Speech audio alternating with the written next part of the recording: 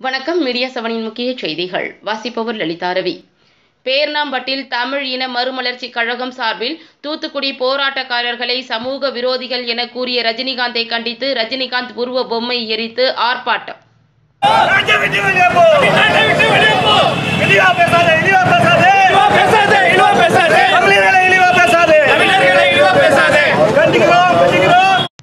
Thoothukudi Sterlite ஆலையை நிரந்தரமாக மூட வலியுறுத்தி நடைபெற்ற போராட்டத்தில் பதிமூன்று பேர் போலீஸ் துப்பாக்கி சூட்டில் பலியாயினர்.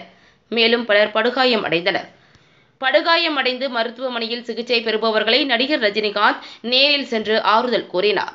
அப்போது செய்தியாளர்களிடம் பேசிய ரஜினிகாந்த் ஸ்டெர்லைட் ஆலை போராட்டத்தில் சமூக விரோதிகள் கலந்து கொண்டு கலவரம் செய்ததனால் தான் துப்பாக்கி சூடு நடைபெற்றது என்று கூறினார்.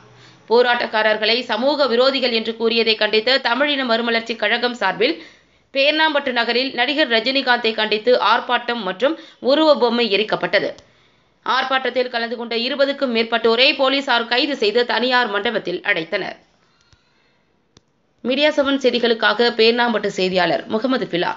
இழுத்து மூட சொல்லி போராட்டம் செய்த பொதுமக்களையும் உயிரிழந்த பதினோரு பேருடைய மதிப்பறியாமல் கலை கூத்தாடியான பஞ்சம் பிழைக்க வந்த ரஜினிகாந்த் அவர்கள் அவர்களை சமூக விரோதி என்று சொல்லியதை கண்டித்து தமிழின மறுமலர்ச்சி கழகம் சார்பாக பேண்டபட் நகரில் அவர் உருவப்பொம்மை எரிப்பு ஆர்ப்பாட்டம் நடைபெற்றது.